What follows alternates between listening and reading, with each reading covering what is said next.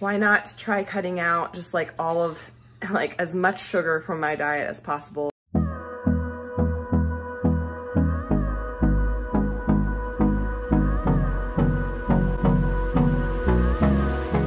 Hey there, welcome back to Limabean Living. If you guys are new here, my name is Emily. Welcome to my little motherhood channel. In a previous video, I actually shared how I've been having some medical issues and I'm gonna refrain from giving like all the symptoms away because kind of embarrassing until we kind of get a grasp of what actually I have or what I'm dealing with. Um, I really don't know and I'm gonna go see a doctor in 10 days. One of the symptoms I will share, I have like flaky skin in my eyebrow. It is annoying. It, it's just, I'm annoyed by these symptoms. They've gotten old. I've been dealing with these for at least a year now, over a year, and I'm just ready for it to be over and done with. So I'm seeing a doctor in 10 days and I figured, why not try cutting out just like all of like as much sugar from my diet as possible. I love sugar, I love sweet stuff, and um, if that helps in 10 days, well, then I'll be able to tell the doctor that without going to the doctor and then having the doctor send me back home to try these things, might as well give this a go. So I'm gonna be bringing you along and sharing just what I'm eating for the next 10 days until my doctor's appointment. And I'll probably give you guys some updates like midway on how I'm feeling, what I'm struggling with. But for breakfast today, I'm having two eggs and about an ounce of like Fiesta blend cheese. And maybe I'll have some carrots for a snack in a little bit. Okay, so it is kind of like dinner time-ish. It's kind of early, but I'm hungry and I'll probably have like another snack later, but I'm just having some like homemade chicken parm that I made the other night. Yes, I know it has breading, but you know, it's mostly chicken. It's like 10 ounces of chicken and some panko breadcrumbs, some melted butter in the breadcrumbs, a little bit of Prego sauce, and some mozzarella cheese. I think it'll be pretty filling though. okay, so for dinner I have about like 158 grams of rice. I put in a tablespoon of Smart Balance and then there was just like some extra carrots. We're just kind of having leftovers, but I think I'm gonna throw in an ounce of cheese because I like that combo and I want it to be extra tasty because I'm hungry. And then I'm gonna have some of this. In my opinion, I don't like diet sodas, but Diet Sunkist Orange is like by far, I think, my favorite diet soda. Tastes like the real thing. And it doesn't give me those diet soda feels. So I'm gonna drink this without any guilt. Okay, so for a late night snack for dessert, I'm having a banana and two tablespoons of peanut butter because I'm still hungry and this is the sweetest I could go without having actually anything that was like processed with added sugar and stuff. So this is what I'm finishing up day one. So as I'm sitting down to enjoy my dessert, um, I did want to point out and mention my starting weight for this 10 day period. I'm 205.7.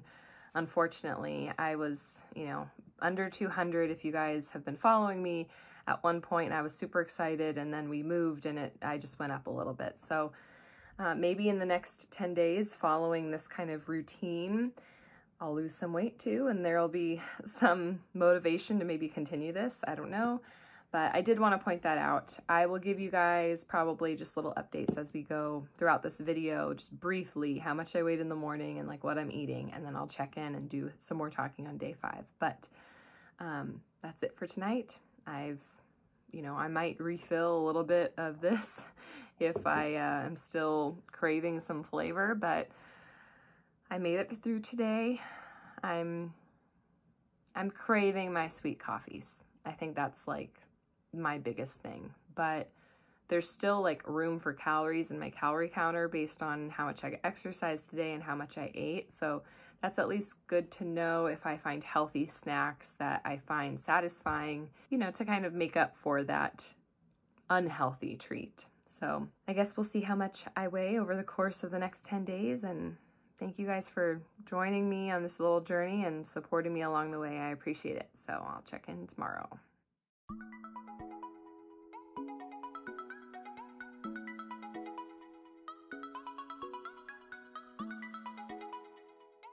Okay, so the dinner of day two are two chicken soft tacos, like a little chicken quesadilla. Sorry for my daughter. uh, french fries, and then a Diet Coke with sugar-free vanilla I'm gonna add it in. I know this isn't the most healthy, but it's there's not a lot of added sugar, so I'm cutting out what I would normally have.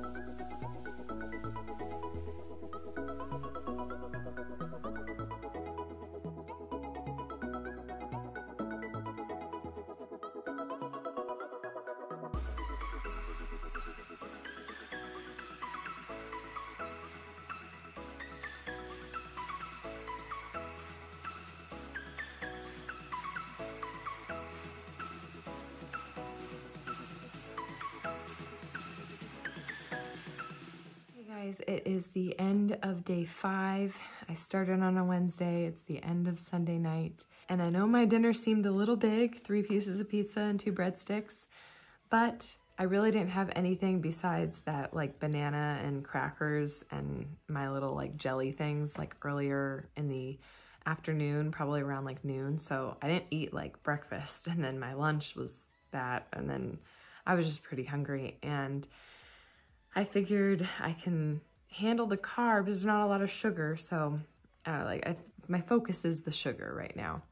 So anyways, I just wanted to, I guess, justify that. This week has been bearable, but challenging. Last night we went to my sister's house and she made cinnamon rolls and I had to just pass on that. My parents got donuts this morning and I had to pass on that too. So some of my, you know, favorite things in life I had to say no to the last two days. And honestly, I haven't seen much change in any of the symptoms I'm experiencing. So in some ways, I'm happy that it's not like I have to give up sugar the rest of my life, but I'm so kind of frustrated that it's like, okay, well, that's obviously doesn't appear to be the cause. And I know I said I was going to do this until my doctor's appointment, but Two days before my doctor's appointment is my anniversary with Juan. I have a coupon for Dunkin' Donuts that I want to use and it expires on our anniversary. And I don't want to be miserable. That's supposed to be a special day and I don't want to not be able to enjoy that day. A lot of times Juan and I love to go get coffee together and that's one of the things that we enjoy. So I think I'm going to end this on the 15th, which means I have two more days of doing this. So it's a full week of no sugars or no added sugars. So, you know, it, it's worth a shot. My weight originally went down and it's just been staying consistent. Uh, actually, I went up today and that didn't really make sense to me because of how I've been eating and I've been under my calorie count and it's probably just a lot of sodium but yeah, that's my little update. It is late. I've been working on some other videos for you guys. And so just to get me through like finishing up what I need to do tonight, I am having one more of my little jelly things, I guess. I think this one's cherry. Part of me wonders if I can make this with less gelatin. If you guys have tried Sprouts brand like gummy bears, those are the best. They're soft, they're tasty, this is much more firm than those guys, but it's still really tasty for being sugar-free and 15 calories. It's It definitely hits like the sweet spot. But one thing I have been missing is like chocolate and that's kind of hard to, you know, find a good chocolate that's not really sugar-free. So anyways, that's kind of my update. So all that being said, I will show you guys what I'm eating the next two days and then hopefully my doctor and I will be able to figure out what's wrong with me and yeah, go from there. So I'll check back in tomorrow.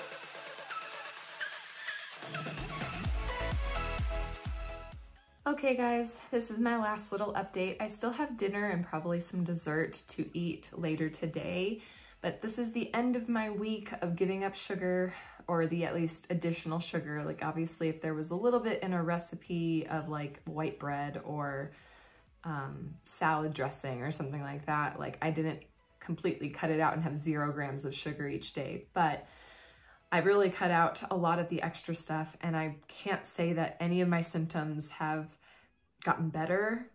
Sometimes it felt like they were worse. So I really don't know. I know that a week is not a really long time to give up sugar to see the effects on my body, but my weight really didn't go down that much. Uh, kind of stayed the same, went up a little bit and then went back down. So it's not like there was a big change there. And for reference, my body fluctuates a lot. So I could lose like two pounds in a day and then gain a pound and then lose another two. So the fact that I kind of just stayed the same seemed a little odd for me. It could be my body just adjusting. If there's one takeaway from this week that I'll try to keep going forward is I really enjoyed those salads that I was having with the peppers and the chicken and that one salad dressing that like my mom introduced me to. So I think I'm gonna try to kind of keep that up, you know, try to have maybe extra healthy meals if, on days that I'm gonna have my coffees or have maybe like a donut for breakfast or something like that. So I at least have a good takeaway and, you know, have this knowledge to bring to my doctor's appointment on Friday. Tomorrow is my anniversary with Juan, so that's why I'm kind of calling it a couple days short, just because I'd like to be able to enjoy tomorrow and not feel like craving coffee or, you know, craving those fun activities and fun foods that we would normally have on a special day like that. Today was also difficult because I spent the whole day baking sweets for Christmas. I made lots of Jewish coffee cake, which has cinnamon sugar like throughout. I made apple breads, which have cinnamon and lots of sugar in there. I mean, you know, a significant amount, you're making sweets. And then we made cream cheese cookies, so it's been a tough and tempting day, but other than like picking up a crumb and putting it in my mouth, I didn't have any one of these little sweets, even like the little mini muffins that I made for the apple bread. So I'm proud of myself. Not gonna lie, I'll probably have some tomorrow uh, if we can cut into them, if they're not like, you know, off limits for Christmas. But I figure since I made them, I should be able to enjoy something. But these will be recipes that I will be sharing with you guys in the future or have already shared with you. I really don't know how I'm laying this all these videos out. I'm making so many. But yeah, today was tempting and a struggle. But being able to look forward to the future and being able to enjoy them makes it a little bit easier. But for dinner tonight, I think we're just having some type of like shredded chicken and mayo, probably on some lettuce, and you guys will be seeing what else I had on the screen right now. I'd like to thank you so much for joining me this week and showing your support and praying for me for hopefully these symptoms to go away. I know that you don't know them yet, but I figured let's again wait for the doctor to diagnose me and help me before I give away all of the info. Don't forget to hit that subscribe button and the like button, and I will catch you guys in the next one.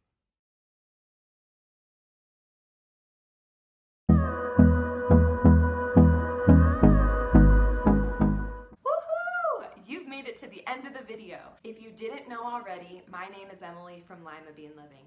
Welcome, we are so happy to have you. We post videos every Monday and Friday on a variety of content, lifestyle, cooking, cleaning, military life, DIYs, encouraging mathematical development in children, and so much more. Thank you so much again for watching, and until next time.